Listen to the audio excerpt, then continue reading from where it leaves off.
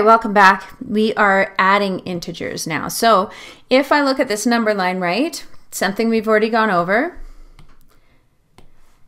and I'm looking at this first position, it's um, 0 plus 1, this would be 0 minus 1, 0 minus 2, 0 minus 3. And how we would write that is just negative 1, negative 2, negative 3, negative 4, and negative 5. And that would be their position on the number line, right? And this would just be 1, 2, 3, 4, 5. So they just mirror themselves on the number line.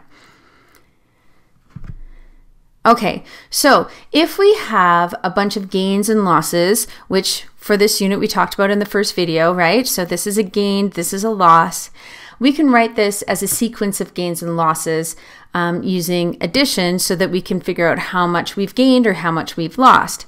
So I can write this as plus 4 plus negative 3 plus negative 5, right? And here I could write this as a string again of gains and losses.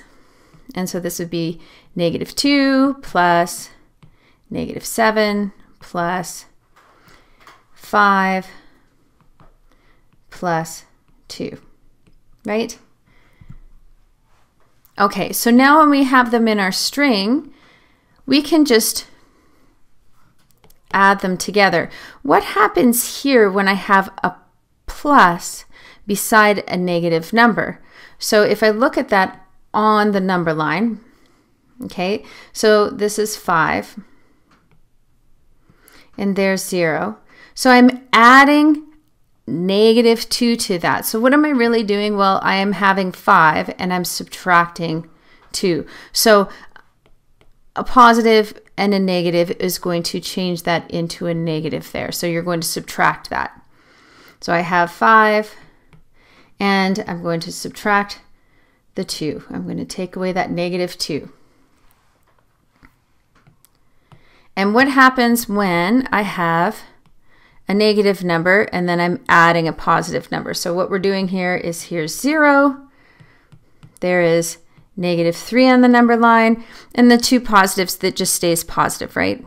So it's minus, it's negative three, sorry, plus four.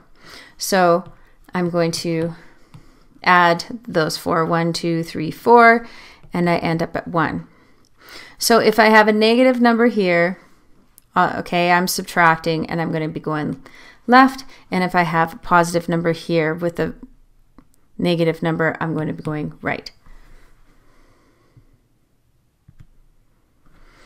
Okay, so again, now I can just cancel out numbers. So I have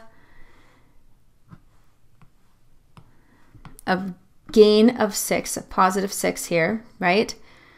And I have a loss of negative 6. And so I know that that's going to take me to 0. So I can actually just look at that and cancel them out and know that I am going to be left with that gain of 3. Now, if I have two losses, it's going to result in a bigger loss. So when I look at this on a number line, okay, and I have 0 here, there's 1, 2, 3, 4, here's negative 4, 9, 10, 11, 12. Okay, so I have, here I have negative 4 minus 12, right, because the negative. And so I just count back those 12. 1, 2, 3, 4, 5, 6, 7, 8, 9, 10, 11, 12. Okay, so what happens here is I take these two negatives and I'm adding the two negatives together.